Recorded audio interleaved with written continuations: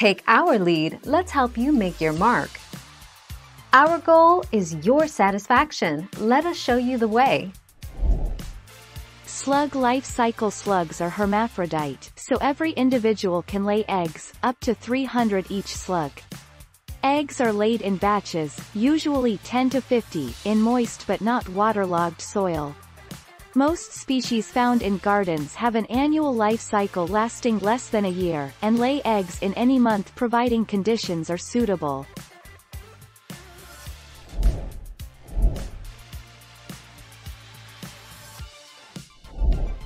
Take our lead. Caffeine kills slugs and snails. Coffee grounds are already recommended as a home remedy for keeping slugs and snails at bay.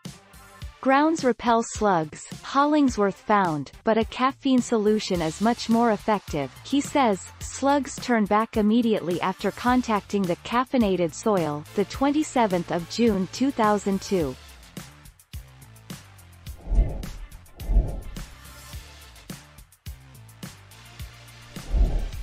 Take our lead. Slugs remain active throughout the year, unlike snails, which are dormant during autumn and winter. Warmer weather, combined with damp conditions greatly increases their activity. Slugs are most active after dark or in wet weather.